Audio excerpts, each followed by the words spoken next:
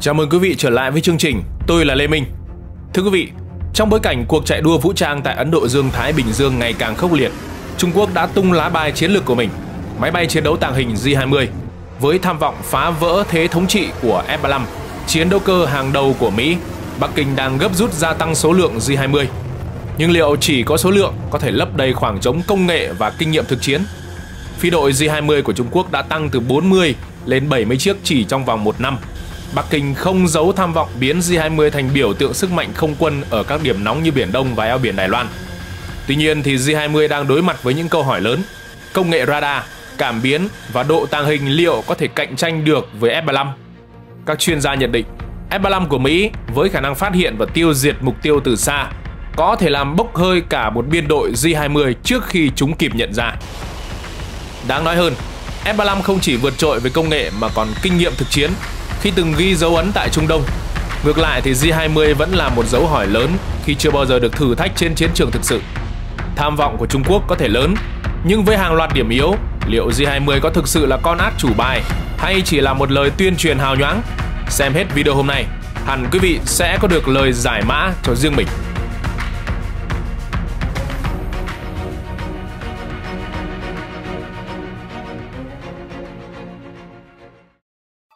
Trung Quốc đang tăng tốc sản xuất máy bay chiến đấu tàng hình J-20 với tham vọng thách thức vị thế bá chủ của Mỹ tại Ấn Độ Dương-Thái Bình Dương.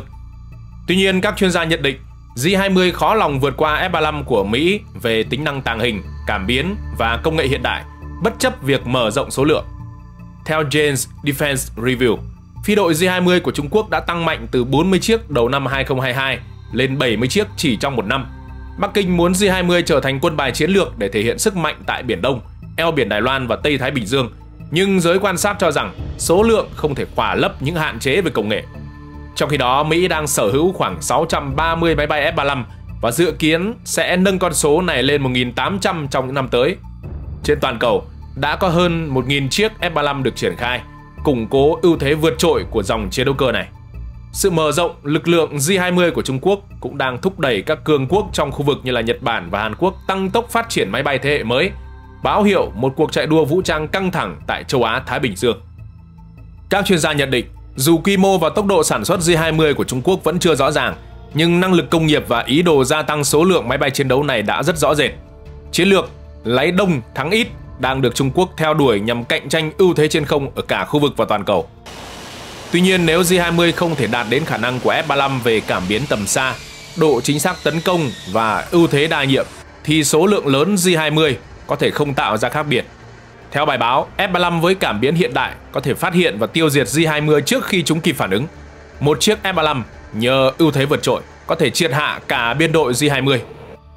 F-35 được trang bị hàng loạt cảm biến tối tân như là radar AN APG-81 của Grumman cho khả năng theo dõi tầm xa, hệ thống tác chiến điện tử AN ASQ239 Barracuda của Bear System, hệ thống khẩu độ phân tán AN AAQ37 và quan sát quang điện AN-AAQ40 cung cấp khả năng phát hiện và định vị mục tiêu chính xác. Bộ thông tin liên lạc AN-ASQ242 giúp tăng cường chỉ huy và nhận thức chiến trường.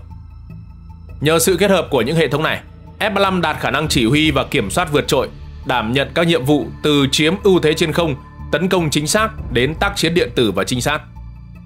Trong khi đó, J-20 còn thua kém F-35 về khả năng tàng hình, hệ thống vũ khí và kinh nghiệm thực chiến – dù Trung Quốc đang nỗ lực gia tăng số lượng, chất lượng vẫn là bài toán chưa có lời giải nếu muốn xoán ngồi F-35 trong các cuộc đối đầu trên không. F-35 của Mỹ tiếp tục vượt trội J-20 của Trung Quốc về khả năng tàng hình nhờ thiết kế tối ưu hóa để giảm thiểu phản xạ radar. Một điểm yếu lớn của J-20 theo đại tá John G.V. Venable là việc lắp đặt các cánh mũi nhọn phía trước thân máy bay làm tăng độ phản xạ radar đáng kể. Venable nhấn mạnh J-20 sẽ lộ diện từ xa trước khi kịp giao tranh với F-22 hoặc F-35. Khác biệt lớn giữa hai máy bay còn nằm ở trang bị vũ khí. F-35 sở hữu pháo Gatling 25 ly, trong khi J-20 hoàn toàn thiếu súng máy, phản ánh niềm tin của Trung Quốc rằng không chiến tầm gần đã lỗi thời. Tuy nhiên, biên tập viên quốc phòng Christine Dior nhận định thà có mà không dùng còn hơn cần mà không có. Pháo không chỉ hữu ích trong không chiến mà còn là vũ khí hiệu quả để tiêu diệt bộ binh và phương tiện đối phương trong nhiệm vụ không đối đất. Máy bay Mỹ còn tỏ ra vượt trội ở khả năng mang nhiều loại vũ khí từ tên lửa không đối không, không đối đất đến bom dẫn đường chính xác. Điều này mang lại tính linh hoạt vượt xa J-20, giúp F-35 dễ dàng thích nghi với nhiều kịch bản chiến đấu khác nhau. Dù được Trung Quốc ca ngợi là át chủ bài trên không, J-20 vẫn ẩn chứa nhiều dấu hỏi về độ tin cậy và hiệu suất thực chiến. Theo bài viết của Christian Dior trên trang Simple Flying, việc Trung Quốc không công khai tỷ lệ sẵn sàng chiến đấu khiến giới quan sát không thể đánh giá chính xác khả năng của J-20. Ngược lại, F-35 được sử dụng bởi các quốc gia như Israel và Úc đã chứng minh hiệu suất vượt trội và độ tin cậy cao trong thực tế.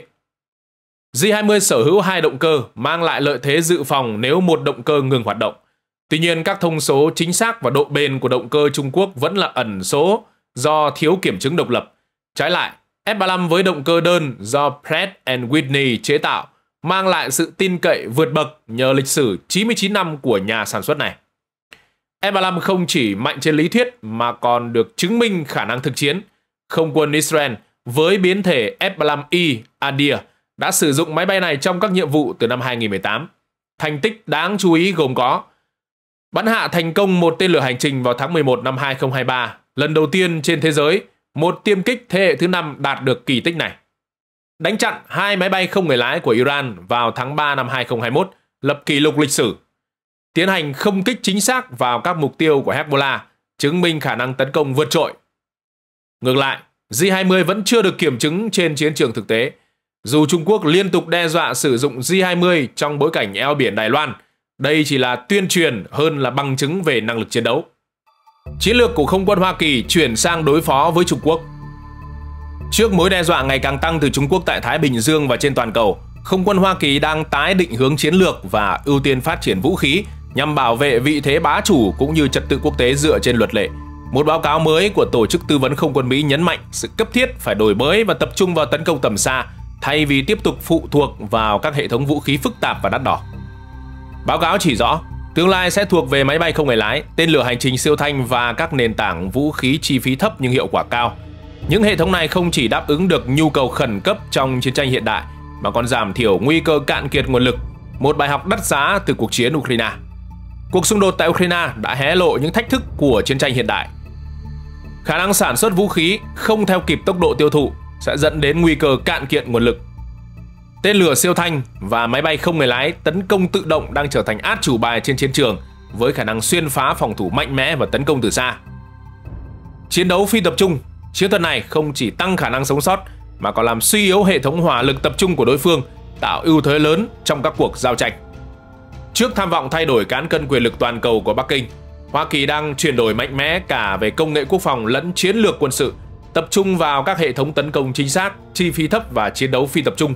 Mỹ không chỉ củng cố khả năng đối phó với Trung Quốc mà còn định hình lại tương lai chiến tranh hiện đại trong thế kỷ 21. Những bài học từ Ukraine và mối đe dọa ngày càng tăng từ chiến lược chống tiếp cận, chống xâm nhập A2, AD của Trung Quốc đã buộc không quân Hoa Kỳ phải điều chỉnh đáng kể tư duy và chiến lược tại Ấn Độ Dương-Thái Bình Dương. Trung Quốc không chỉ mở rộng tầm ảnh hưởng ở Tây Thái Bình Dương mà còn gia tăng năng lực triển khai sức mạnh toàn cầu. Để đối phó, không quân Mỹ xác định rằng vũ khí tương lai cần đáp ứng 3 tiêu chí: chi phí thấp, dễ thay thế và hiệu quả đối xứng. Các nền tảng như máy bay không người lái giá rẻ, tên lửa hành trình siêu thanh và các vũ khí chính xác tầm xa đang trở thành ưu tiên. Dù vẫn phát triển các chương trình như máy bay ném bom B-21 và chiến đấu cơ thế hệ thứ 6, trọng tâm hiện tại đang chuyển dần sang những hệ thống có khả năng tiêu thụ lớn trong chiến đấu mà không làm suy yếu lực lượng tổng thể. Kho tên lửa Trung Quốc đang mở rộng nhanh chóng cả về số lượng và tầm bắn, làm gia tăng nguy cơ tấn công vào các căn cứ Mỹ tại khu vực. Trong một cuộc xung đột tiềm tàng ở eo biển Đài Loan, Trung Quốc có thể thực hiện các đợt tấn công ồ ạt nhằm vô hiệu hóa hoặc làm chậm khả năng can thiệp của Mỹ. Những căn cứ lớn như ở Nhật Bản hiện phụ thuộc nhiều vào hệ thống phòng thủ tên lửa, đang đối mặt với nguy cơ vượt tầm kiểm soát khi đối thủ triển khai tên lửa siêu thanh và máy bay không người lái. Điều này buộc Mỹ phải triển khai chiến lược phòng thủ và tác chiến phi tập trung, đảm bảo khả năng sống sót và duy trì hoạt động trong môi trường chiến sự căng thẳng. Chiến lược của Trung Quốc nhằm loại bỏ sự hiện diện của Mỹ khỏi khu vực, đòi hỏi Washington phải đổi mới triệt để các nền tảng vũ khí hiện đại, dù mạnh mẽ, cần được bổ sung bởi hệ thống vũ khí dễ sản xuất và sử dụng trong quy mô lớn. Hơn nữa, không quân Mỹ cần tăng cường khả năng tấn công tầm xa và triển khai linh hoạt để vượt qua rào cản phòng thủ dày đặc của Trung Quốc. Những thay đổi chiến lược của không quân Mỹ báo hiệu một kỷ nguyên đối đầu căng thẳng hơn tại Thái Bình Dương. Trong cuộc đua quân sự với Trung Quốc, yếu tố công nghệ, tính linh hoạt và sự đổi mới sáng tạo sẽ là chìa khóa để Mỹ duy trì vị thế dẫn đầu và bảo vệ trật tự quốc tế dựa trên luật lệ. Trước mối đe dọa từ kho tên lửa khổng lồ của Trung Quốc, quân đội Mỹ đang triển khai chiến lược phân tán các căn cứ quân sự lớn tại Ấn Độ Dương, Thái Bình Dương. Mục tiêu là giảm thiểu rủi ro từ các cuộc tấn công tập trung vào mục tiêu lớn và gia tăng khả năng sống sót, linh hoạt của lực lượng không quân Mỹ trong xung đột tiềm tàng. Chiến lược mới được không quân Mỹ gọi là sắp xếp tác chiến nhạy bén ACE, tập trung vào việc phân tán máy bay từ các căn cứ lớn nổi tiếng sang một mạng lưới sân bay nhỏ hơn. Những địa điểm này bao gồm sân bay quân sự đang hoạt động, được nâng cấp và tái sử dụng, sân bay thời Thế chiến 2 như sân bay Tinian đang được tái thiết để phục vụ các hoạt động hiện đại. Sân bay dân sự với khả năng hỗ trợ đường băng dài hơn 2.100m đóng vai trò là điểm hạ cánh tạm thời trong khủng hoảng.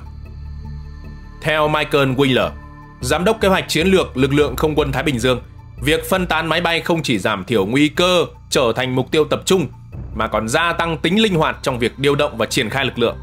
Máy bay có thể nhảy giữa các địa điểm khác nhau, thậm chí sử dụng các đường băng thô sơ trên các đảo xa xôi, tạo lợi thế chiến thuật và làm phức tạp kế hoạch tấn công của Trung Quốc. Tuy nhiên, việc triển khai chiến lược phân tán không dễ dàng. Không phải sân bay nào cũng đáp ứng được tiêu chuẩn của không quân Mỹ, đặc biệt là về chiều dài đường băng và chất lượng bề mặt. Mỹ cần đạt thỏa thuận với các quốc gia đồng minh và đối tác như Nhật Bản và Philippines để sử dụng cơ sở hạ tầng quân sự và dân sự của họ trong thời chiến. Việc hợp tác với Philippines, nơi có nhiều sân bay phù hợp trên đảo Luzon, đã đạt được những tiến triển tích cực. Hòn đảo nhỏ Tinian, từng là chiến trường Thế chiến II, đang được tái thiết sau nhiều thập kỷ để trở thành một phần trong mạng lưới phòng thủ hiện đại của Mỹ – đây là minh chứng cho sự trở lại mạnh mẽ của Mỹ tại khu vực Tây Thái Bình Dương, đáp ứng nhu cầu chiến lược dài hạn trong việc chống lại mối đe dọa từ Trung Quốc. Bằng cách phân tán lực lượng và tận dụng các sân bay trên khắp khu vực Ấn Độ Dương-Thái Bình Dương, Mỹ đang tạo ra một mạng lưới linh hoạt, khó bị phá vỡ và sẵn sàng đối đầu với bất kỳ thách thức nào từ Trung Quốc. Đây không chỉ là sự thay đổi chiến lược mà còn là lời khẳng định vị thế bá chủ của Mỹ trong khu vực.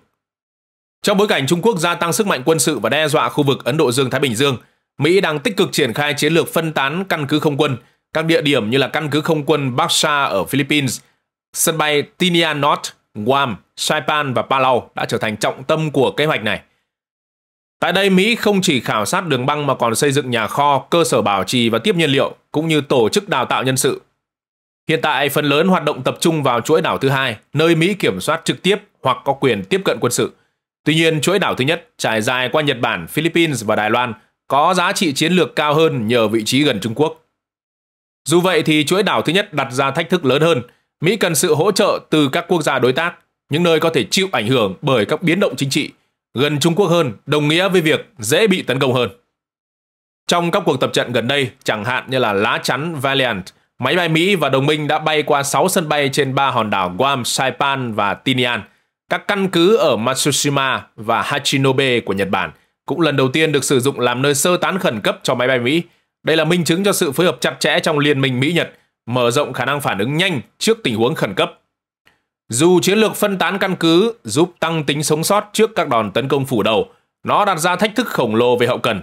Việc đảm bảo cung cấp nhiên liệu, phụ tùng đạn dược và nhân viên hỗ trợ đến hàng loạt địa điểm nhỏ có nguy cơ bị tấn công, đòi hỏi sự chuẩn bị kỹ lưỡng và hệ thống quản lý cực kỳ chính xác – Chiến đấu với các đơn vị nhỏ hơn ở nhiều địa điểm sẽ làm giảm khả năng Trung Quốc tấn công phủ đầu thành công, đồng thời tăng thêm sự phức tạp và nghi ngờ trong kế hoạch chiến tranh của Bắc Kinh.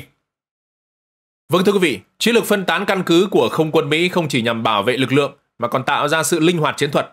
Tuy nhiên, chìa khóa thành công nằm ở việc tìm ra sự cân bằng giữa việc phân tán và đảm bảo hậu cần. Nếu không, bất kỳ lợi thế nào từ chiến lược này cũng có thể trở nên vô nghĩa. Trong một khu vực đầy biến động như là Thái Bình Dương, khả năng triển khai linh hoạt và sẵn sàng ứng phó của Mỹ sẽ là yếu tố quyết định để duy trì ưu thế trước sự cạnh tranh của Trung Quốc. Trận địa bầu trời đang bừng cháy và tương lai của cuộc chiến công nghệ hàng không giữa Trung Quốc và Hoa Kỳ vẫn đầy bí ẩn. Liệu những chiếc J-Balama xả khói đen kia có thực sự là bước nhảy vọt hay chỉ là bước đi sai lầm trong tham vọng của Bắc Kinh? Trong khi Mỹ đã sẵn sàng với những quái vật bầu trời F-35, Trung Quốc vẫn vật lộn với bài toán động cơ và công nghệ. Phải chăng J-Balama chỉ là một chiêu bài tuyên truyền hay Bắc Kinh thực sự có con bài tẩy trong cuộc chiến này? Và liệu Zibalama có thể vượt qua cái bóng khổng lồ của F-35 hay chỉ là một ngôi sao lóe sáng rồi vụt tắt? Xin quý vị hãy để lại quan điểm của riêng mình ở phần bình luận. Đừng quên nhấn like, chia sẻ và đăng ký kênh để không bỏ lỡ bất kỳ phân tích nóng hổi nào từ chúng tôi. Lê Minh xin chào và hẹn gặp lại.